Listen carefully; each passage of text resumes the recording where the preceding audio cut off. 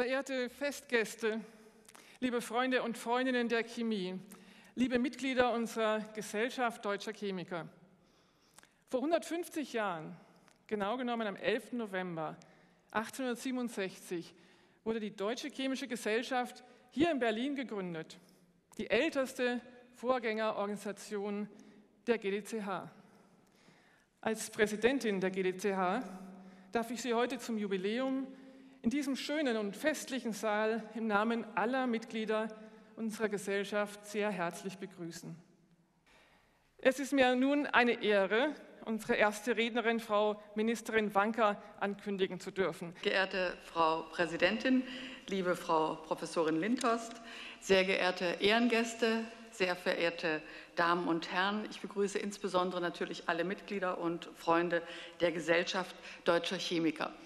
Es war die erste Organisation, die mit dem Ziel gegründet wurde, der Chemie Ansehen, Anerkennung und Förderung zu verschaffen. Bis zum Zweiten Weltkrieg war Deutsch die Wissenschaftssprache der Chemie, aber was ich nicht wusste, dass bis zu diesem ähm, Zeitpunkt man in den USA, wenn man Chemiker werden wollte oder Chemiker wurde, Lesefähigkeit in Deutsch nachweisen musste. Und was mir sehr sympathisch ist, wenn man neue Gesetze macht, und wir haben gerade jetzt gehört, wie viele hundert neue Gesetze wir in der letzten Legislaturperiode gemacht haben, dann ist es Pflicht in Deutschland, dass immer untersucht wird, was bedeutet das für einen bürokratischen Aufwand, der sich dadurch ergibt. Wir möchten gerne, dass bei jedem Gesetz auch geprüft wird, was bedeutet das für die Innovationskraft Deutschlands behindert das unter Umständen die Innovationsmöglichkeiten, die wir haben. Seit 150 Jahren ist die Gesellschaft deutscher Chemiker einer der größten Zusammenschlüsse des Fachs weltweit. Es ist ein Forum für die Chemie, für das eigene Fachgebiet, aber eben auch für die Gesellschaft. Und deswegen freue ich mich und bin auch heute gerne hierher gekommen und möchte Ihnen allen zu diesem Jubiläum gratulieren. Ich finde, Bildung unterscheidet sich vielleicht von der Ausbildung insofern, als sie dem Wissen noch etwas Weisheit hinzufügt. Es ist mir eine Freude, jetzt eine kleine Dreiersequenz von drei Grußadressen unserer befreundeten internationalen Gesellschaften anzukündigen. Well, good afternoon, colleagues and distinguished guests, and thank you to TISBA and to the GDCH for paying the Royal Society of Chemistry the honour to invite me to join you to celebrate this great occasion. And first, I offer our hearty congratulations on your anniversary and our warm thanks for 150 years of collaboration and shared passion for the chemical sciences. Chemistry has no nationality. As Johann Wolfgang von Goethe said earlier, the same idea. Science and art belong to the world, and before them vanish the barriers of nationality. Chemistry has no nationality, and we work as one community, and we will continue to do so. Thank you. Guten Tag, meine Damen und Herren. I'm deeply honored to be here uh, and to be able to bring my congratulations and those of EuChemS on this very, very important anniversary of the Gesellschaft Deutsche Chemiker. 150 years. It really is a very long time, and it's been a wonderful 150 years. The GDCH is one of our largest and most important members and has shown enormous support for EuChem since it was formed from the Federation of European Chemical Societies 13 years ago, and indeed in the years before that. So many congratulations on your 150th anniversary.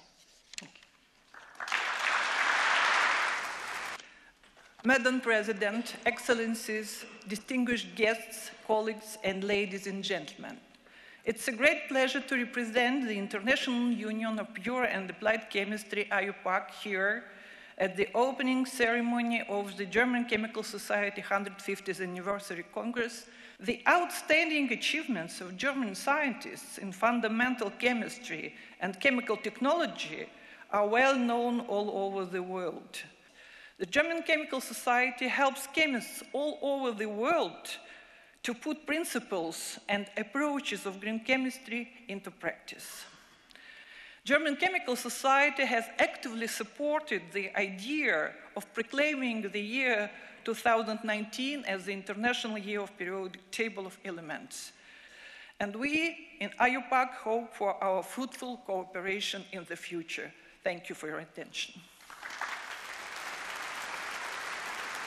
Wir brauchen jetzt natürlich jemanden auf der Bühne, der für uns in der GDCH den Bogen schlägt von der Vergangenheit in die Gegenwart und vielleicht darüber hinaus.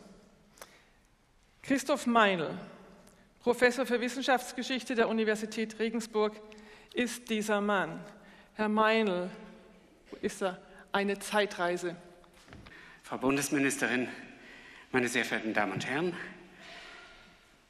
den Vertretern der spekulativen und der angewandten Chemie Gelegenheit zum gegenseitigen Ideenaustausch zu geben, um auf diese Weise die Allianz zwischen Wissenschaft und Industrie aufs Neue zu besiegeln.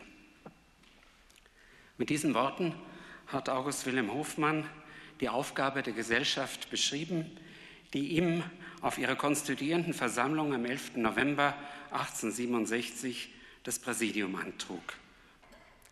Nun liegt eine ganze Woche voller Chemieprogramm vor uns. Wir feiern ein richtiges Chemiefest, wie sich das gehört. Und wenn man mal auf die Namen, und einige von diesen Namen sind ja schon gefallen, derer schaut, die seit 1867 Protagonisten der Deutschen Chemischen Gesellschaft waren, dann darf man wohl konstatieren, Deutschland ist nicht nur ein Land berühmter Dichter und Philosophen, Deutschland ist eben auch ein Land berühmter Chemiker und berühmter Chemie.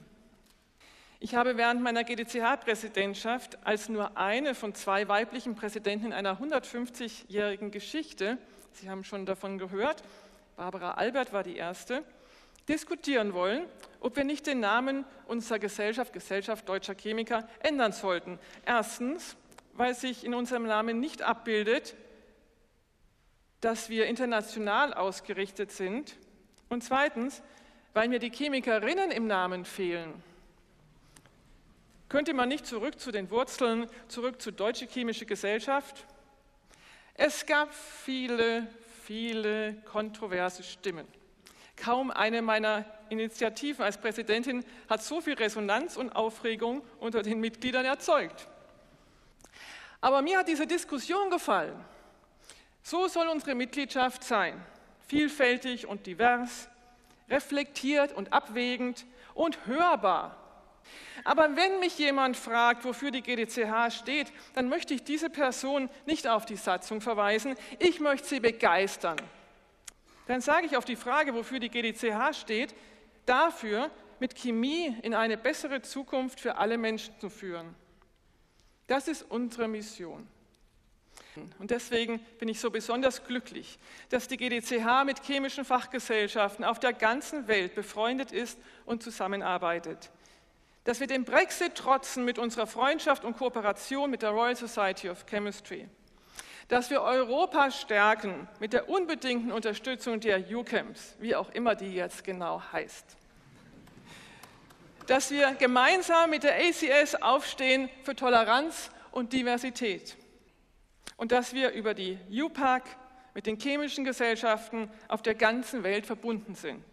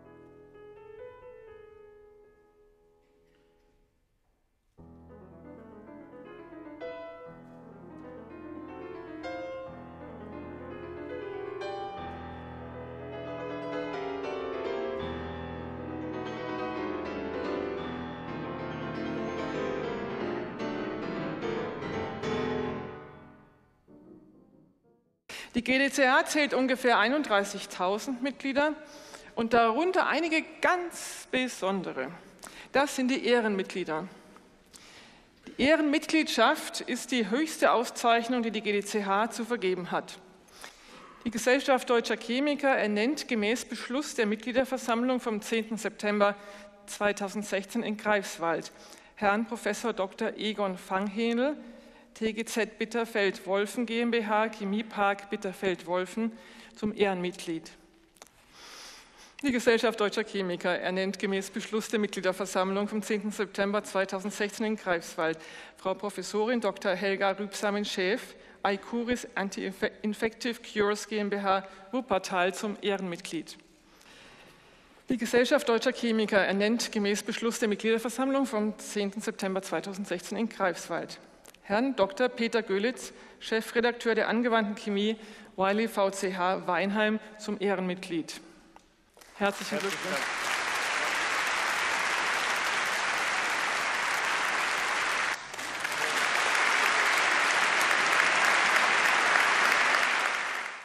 Primo Levi, most of you will know, as was a chemist, a writer, a poet, a Mensch. That's a Yiddish word. It's my great pleasure that we can today award the Primo Levi Prize for the first time. Back in 2009, the idea was born in the GDCH to establish that new prize, a prize that would recognize outstanding achievements of chemists in the service of humanity. Now, in a joint initiative of the GDCH and the Società Chimica Italiana, to find the first awardee, who is today Professor Roald Hoffmann, honorary member of the GDCH and Nobel Prize winner in chemistry. We will have him on stage in just a few minutes.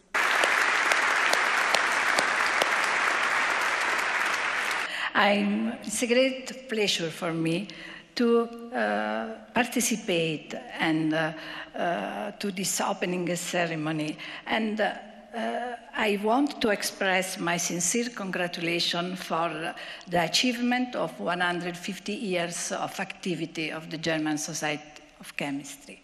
I really cannot see any better way to celebrate this event than the joint institution between the German Society and the Italian Society of Chemistry of the Primo Levi Award. Es ist für mich eine große Ehre, hier zu sein. Ich möchte gern auf Deutsch reden, aber für meine italienischen Landsleute, es ist vielleicht besser für mich, auf Englisch auszudrücken. And above all, dear old Hoffman,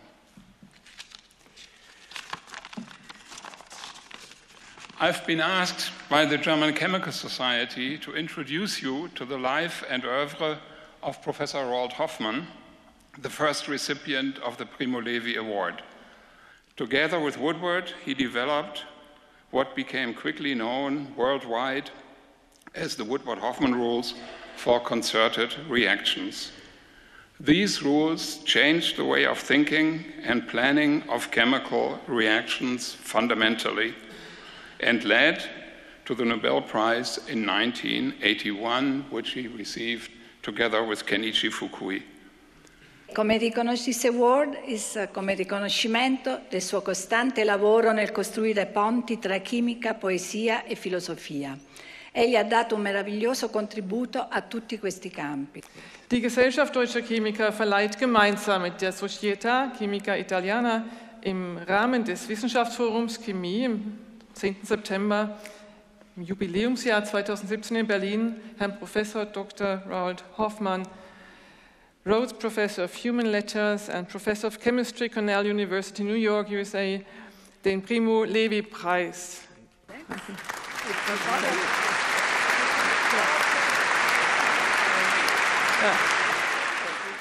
So I cannot compete with Gershwin and a wonderful pianist.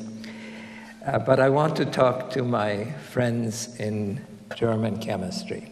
First of all, I am so happy to join you in this celebration of 150 years of the Gesellschaft Deutscher Chemiker.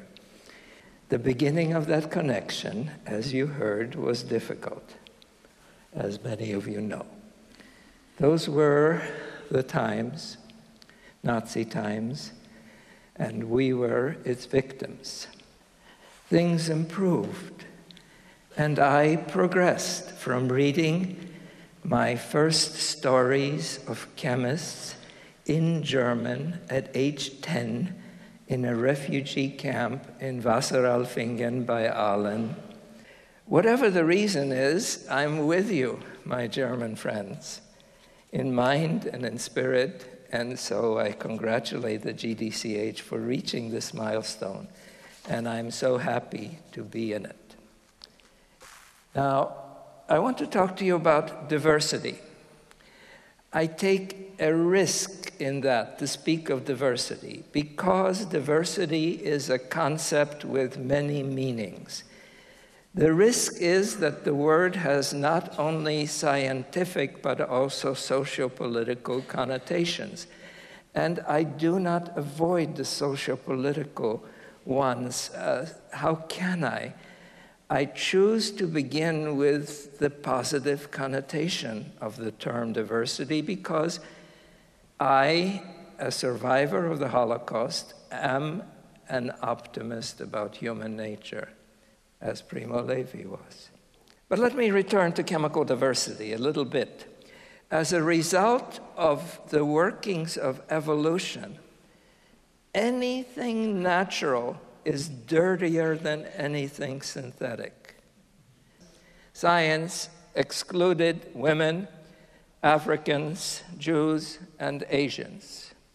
For the country, your country, my country, an immense enrichment in the workforce follows from immigration, from diversity. America took in my family and me as refugees from wartime Europe. Not easily. There were, there were restrictive immigration laws. It took four years in displaced persons camps to get there. But after we came, I and thousands more of Hitler's gifts to America have served the USA well. May the diversity you have chosen brighten the next 150 years of the German Chemical Society. Thank you.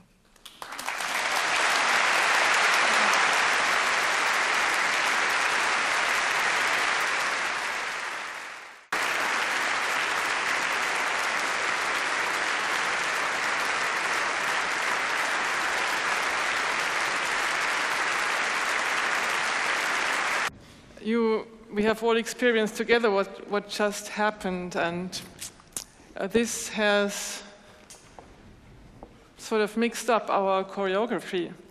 Because actually, 20 young chemists should be on stage now, and they're not daring to come up anymore.